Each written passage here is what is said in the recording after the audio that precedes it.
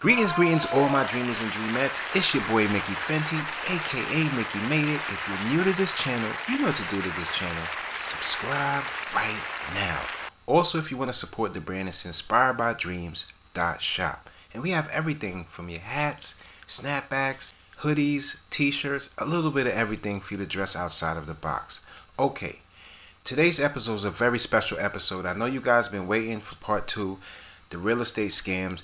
I've been very I've been looking into a lot of things going on in the real estate business as far as the real estate scammers and the scams that have been going on in 2024. And this video right here is it's shocking, but it's also an eye opener for the people out there just looking for, to buy property or people out there just looking to be, you know, a real estate agent. So thank you for the love on the channel, you guys.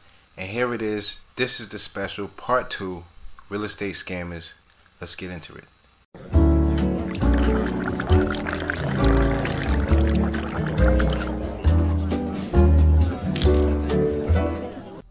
Hungry for knowledge. He was the viral guy in Atlanta, spitting finance knowledge to anybody who listened on the street corner.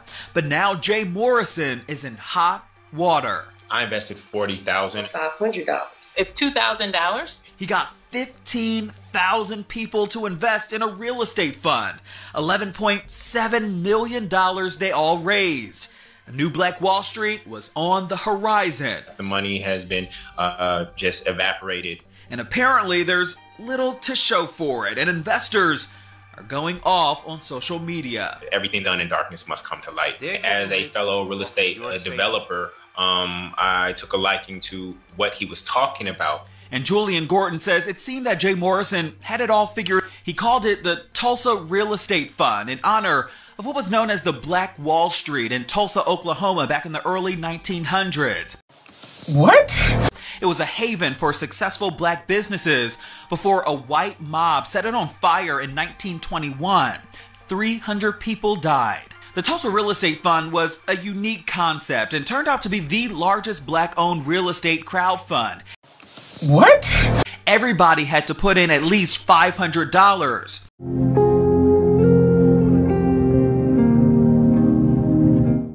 Gordon, a real estate investor himself, he put in $40,000, the most of anyone. I never invest anything that I can't lose, but when you invest, you don't intend to lose at the same time. And that's what Gordon says happened What? with this. Their crown jewel investment, a 30,000 square foot event and workspace called the Legacy Center in Atlanta. It was a big deal when it opened up in January 2020. Everybody called it the Black House. According to SEC filings, the Tulsa Fund put aside over $3.5 million to both acquire it and develop it. What? But I don't believe in just flipping houses. I believe you got to flip the people in the community as well. It's genius. Politicians, well known pastors, celebrities were all there to celebrate the boom that was happening. This is Jay Morrison and his wife, Ernestine, who said back then that they would even be moving their personal businesses into the space. So it's not that Jay's just bringing his company to the Legacy Center because it looks cool. I'm bringing a reputable, qualified, Class A tenant to the Legacy Center to anchor us and make sure we got some revenue coming in every month. It's genius. But as they quickly learned, COVID 19 would slow everything down. Gordon says there was no bounce back plan and the communication started to fade. I was uh, a friend at this time, and I sat in the Legacy Center in his corner office, and I was uh, told him straight up that your name has a lot of mud in the streets, but you have 15,000 people who are your biggest fans and believe in you, um, who he has since then uh, alienated and, and really cut us off in many ways. He says he began reading SEC filings and learned that both the SEC and DOJ had been conducting an investigation on the fund and Jay Morrison. It was revealed in 2019 that the government issued a subpoena seeking documents and information about the fund's operations, but nothing later came of it. And by May 2020, the investigation was Just because they have a closed. But Gordon says that he still noticed that the math legit. wasn't mathing. That $11.7 million initially raised was being swallowed up, losing millions year over year, according to these SEC filings, with no recorded profit. And at the same time, the fund manager, Jay Morrison, was allegedly paying himself in management fees. He's eaten uh, over a million, almost probably two million by now in management fees. He's paid his wife through the organization. She used the facilities uh, without probably any payment. She hosted her podcast there. She hosted her Greenlit ATL events there. And I guarantee that there's no transaction of her paying us, the investors or the entity, um, for the usage of that space. We spoke to Mon Cherie Robinson, who invested $500, the minimum required to join. She says that although it wasn't a lot of money, Morrison hasn't communicated much as to what's been going on. And to her surprise, she found out just weeks ago on social media that the Legacy Center was being sold, their anchor investment, listed here for $3.65 million. I just feel like it's real diabolical for you to take advantage on the vulnerabilities of the average person. We can't keep starting over. And this is a smack in the face for someone who took a gamble. The internet has since caught on and have been blasting Morrison on social media. There are over 15,000 victims of his lies and incompetence. Once again, he's pulling on the emotions of black people. Without a board of directors, I, as an individual investor, have no other way to hold him accountable or influence the direction of the fund. Many filing complaints with the SEC against Jay Morrison, accusing him of misappropriating funds, even buying personal properties with it. This is one of them in South Fulton, Georgia, which is a suburb of Atlanta. It was a purchase through the fund, right? Um, and so he purchased that, and the 27 acres that are adjacent to it somehow also ended up in his name.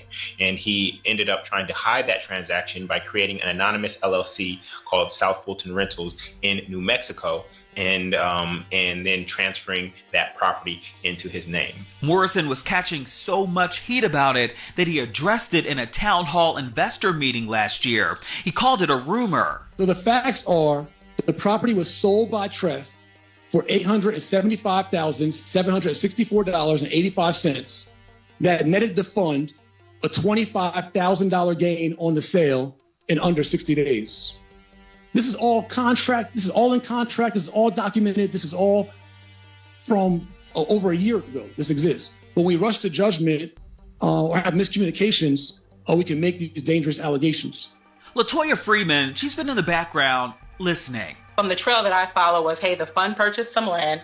The fund couldn't basically kind of go and develop that land into what it needed. So basically, it sold him that land back. So she's an experienced investor and says that she invested $2,000 into the fund. As Black people, we always say we want to come together and, and, you know, practice group economics. And so that was probably the thing that really drew me. There been any return, but there, there was the one dividend. She says in 2021, everyone did receive a dividend payment depending on how much your original investment was. Freeman got about $75. Hey, 99% of businesses fell in that 10 years, right? In, in a 10 year period. And so, particularly with co working space, COVID, you know, there, there should have been a pivot to more your traditional real estate. I don't believe it was intentional. I just think it kind of, you know, unfortunately kind of got hit with, with COVID and didn't pivot. And so those are questions I do have for Jay is like, there should have been a pivot. I, I get it. The Legacy Center was kind of the, the marquee, but hey, you know, maybe just sticking with a traditional real estate plan. Gordon, though, says that he's not buying it and wants the SEC to reopen their investigation and he's not alone.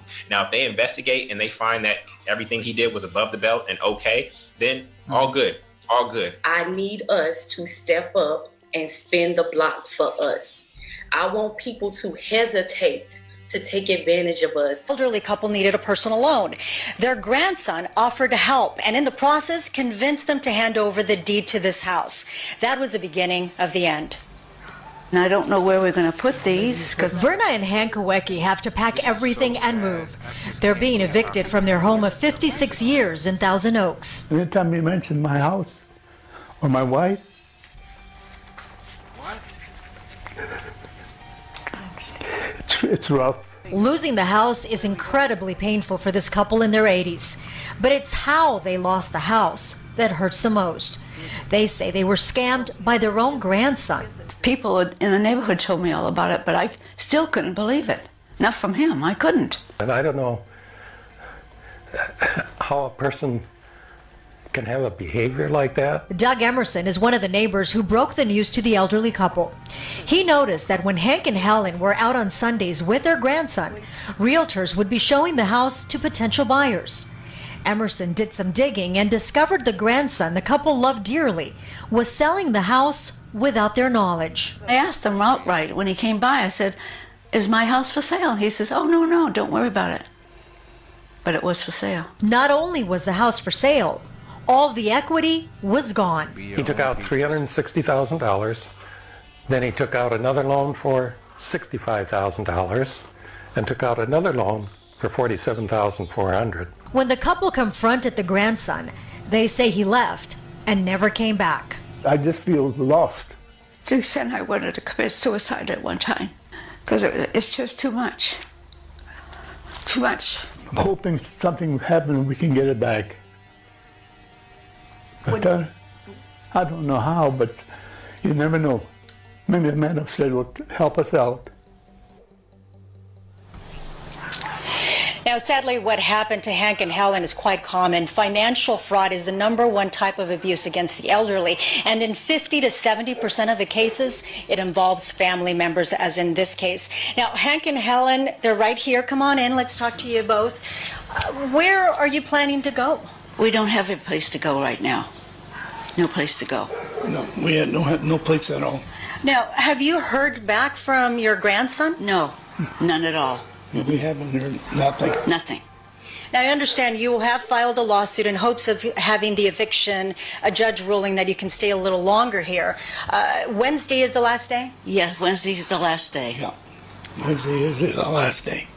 I am so sorry. I mean, all of us are just devastated for you. How have, have you addressed this with your grand?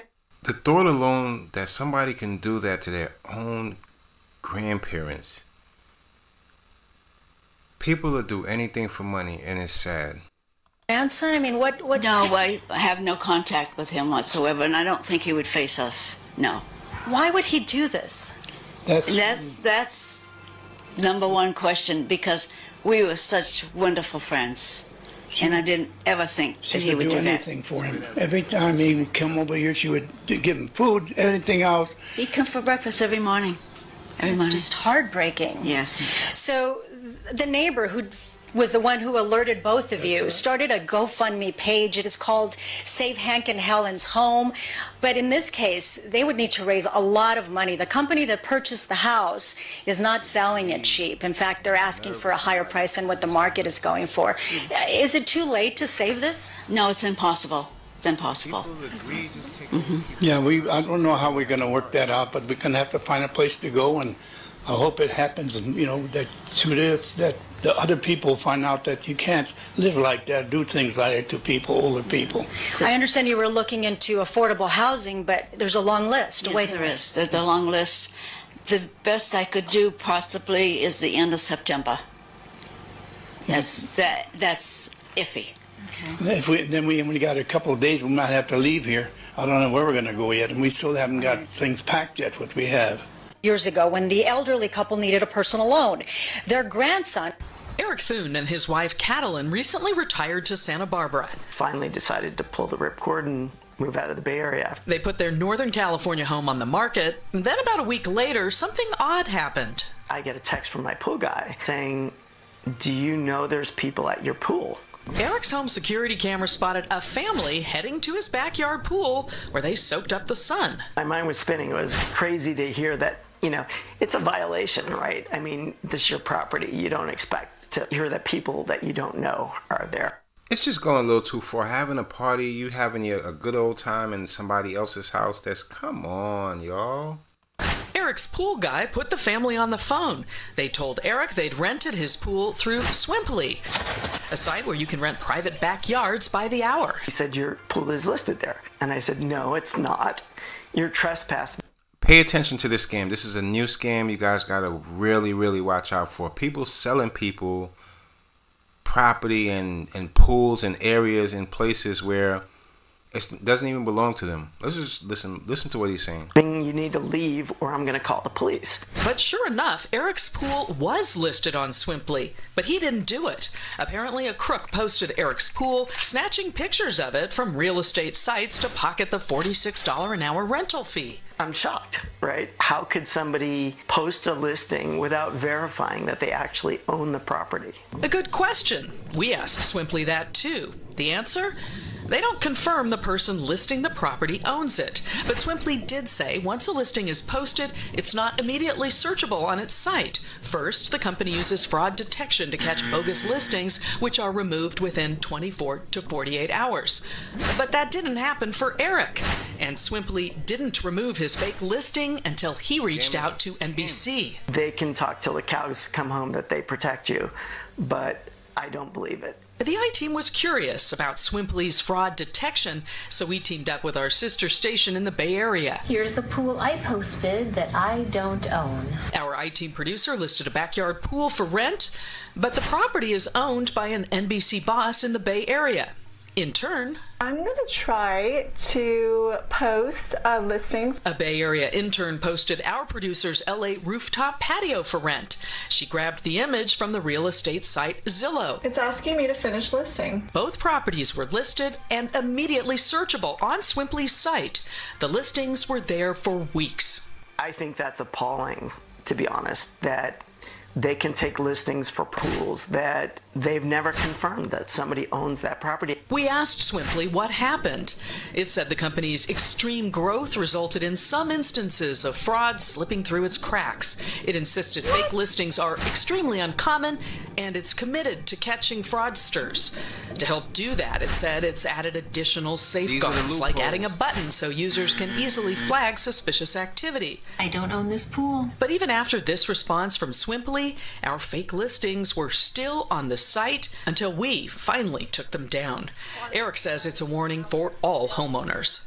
I just want people to know that this, you know, especially if you've got your home for sale, you need to watch out for this. Learning if you're looking for a new home, you need to look at something other than the price. WECT investigative reporter Michael Pratt is looking into real estate scams and how you can protect yourself. Michael, there are several types of real estate scams, but you're told that fake listings are on the rise and scammers could make off with thousands of dollars. Yeah, Fran, and because it is such a competitive housing market, I'm told some buyers are putting in offers sight unseen on properties, and that could lead to some serious issues. With the housing market exploding over the last few years, it's quickly become a seller's market and a scammer's market too. If you look at what has happened, the fraud, the person committing fraud will advertise the property if they're on the selling side at a great price, at, you know, below market, and it look, really look, appears to be a great deal. And it's the old adage: if it appears to be a, a, too good to be true, it probably is. It's particularly an issue with for sale by owner. It's not through a broker, but it's for sale by owner, and they will um, advertise it either on, on newspaper or something like that. The other, the other area that's easy is vacant uh, land. In December of last year, the North Carolina Real Estate Commission posted a notice warning realtors of fake seller scams. Steve Mitchell, president of Cape Fear Realtors, says any property can become a target, but vacant land is often used by scammers. They can put a sign on the property, advertise it for sale, try to get it under contract, and uh, there's varying degrees of things that they're trying to do as far as either due diligence fee, earnest money, or just or the proceeds in general. Meaning a small down payment or a full purchase could be gone in the blink of an eye to scammers that operate online. While there are plenty of legitimate for sale by owner listings, Mitchell says a certified realtor can help take the guesswork out of the sale.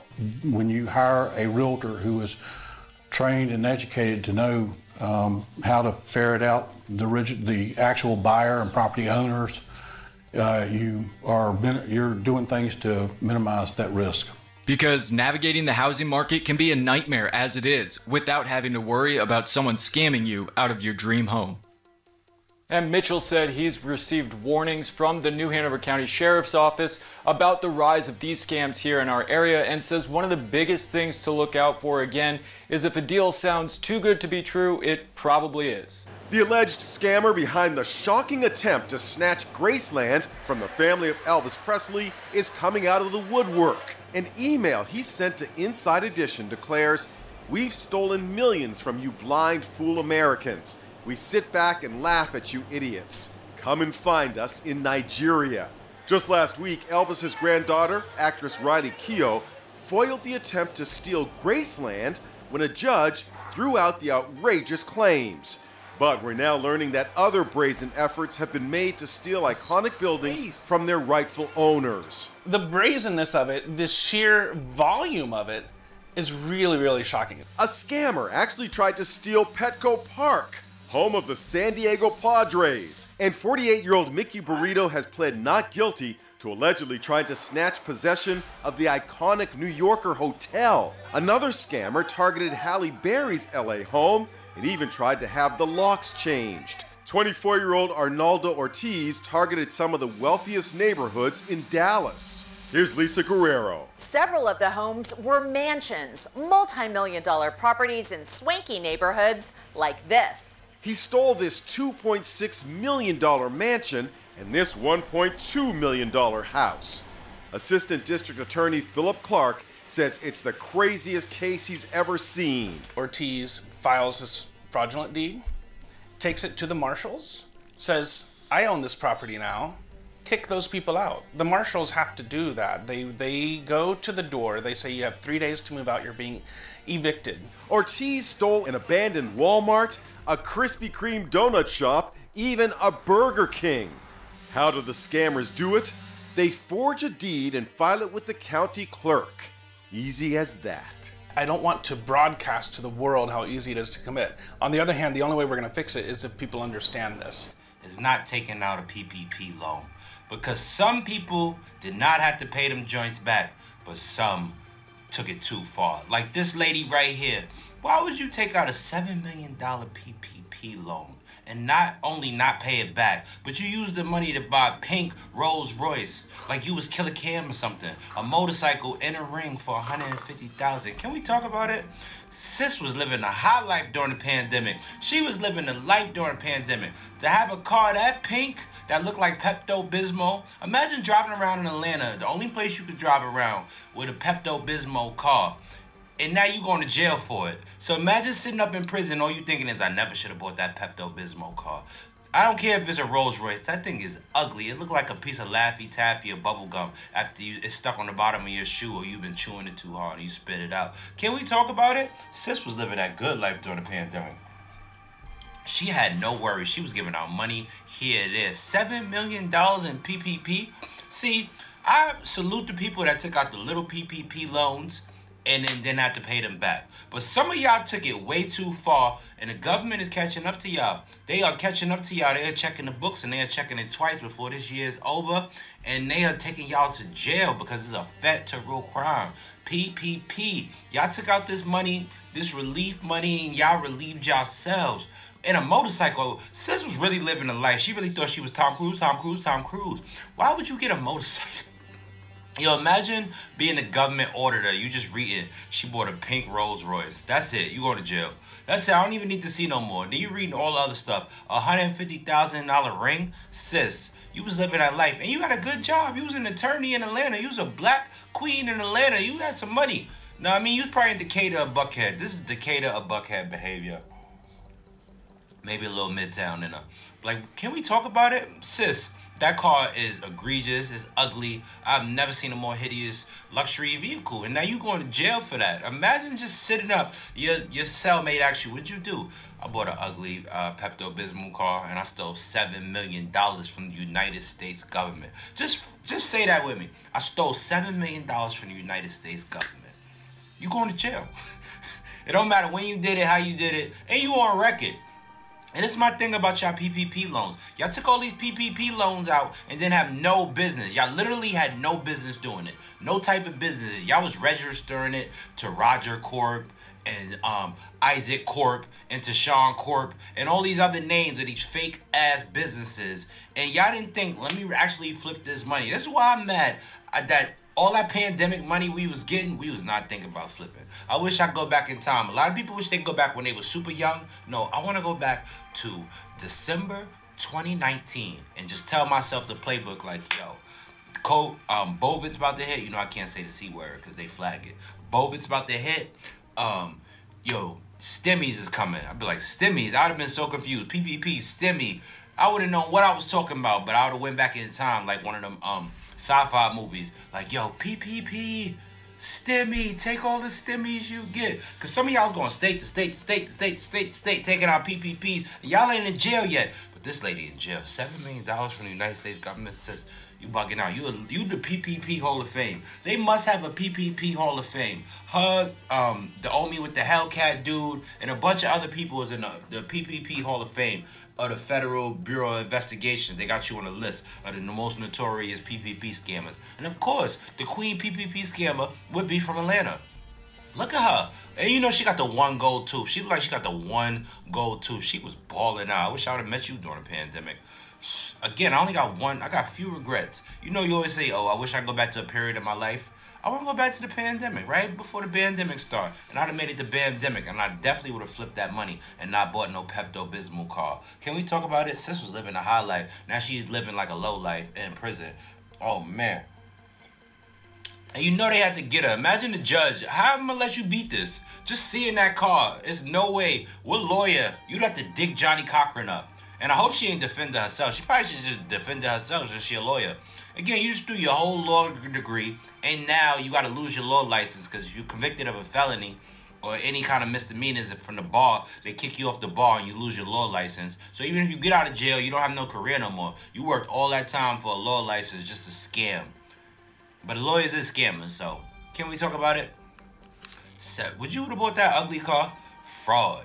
Listen, I got few regrets, but we all got that one regret. I just want to go back in time and whisper, put it on a little note, just whisper in my ear what PPP. Get it. Start it. But again, y'all should have really started real businesses and used that money for real businesses. But now y'all all looking crazy. Y'all didn't really think they was gonna come find y'all. All I can say is it could be so hard saving for the little that we work for in these times and for somebody could just for somebody to just come around and take it from you and scam you out of your money it just takes a different level of greed a different level of hate for somebody that you can do that to somebody and take their life savings and just run off and especially do it to somebody in your own family. That was just it was hurtful and it's very it's just, it's just very deceiving man. You guys let me know what you think about these real estate scams and you have to be very careful if you're looking into buying property. Be careful out there because people are looking to just take you for what you have. The little you have they'll take you last. So until next time it's your boy mickey fenty aka mickey made it. If you're new to this channel you know what to do to this channel. Subscribe